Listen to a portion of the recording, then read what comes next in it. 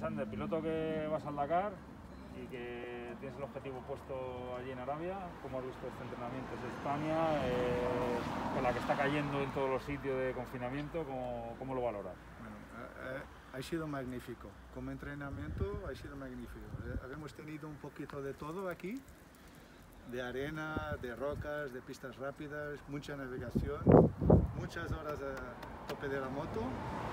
Eh, ha sido una oportunidad es- muy, muy buena porque no se puede ir a Marruecos, no se puede ir a otro lado. y me he divertido mucho y la organización estaba a tope, la gente muy buena. eh, al volver, a volver, es un buen entrenamiento. Hemos intentado variar todo tipo de terrenos dentro de la posibilidad geográfica que nos da España, eh, pistas rápidas, piedras, arena, barro, hemos hecho un similar a Marruecos dentro de España. dentro de España. Y yo, y- y yo no sabía que vosotros tenían zonas tan guapas, tan bonitas aquí.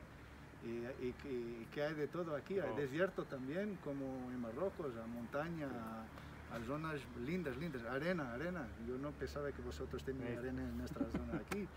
Eh, buen entrenamiento. Y, top. respe- y respetando las normas de Siempre confinamiento y, la- y todo, se puede hacer muchas actividades autorizadas y legales y podemos disfrutar de esto. Sí, ha sido muy bien. El año que viene intentaremos hacer otra vez Hispania Stren y, y el Marruecos Stren. Hay que ir a las A las dos. dos. Pues muchas gracias.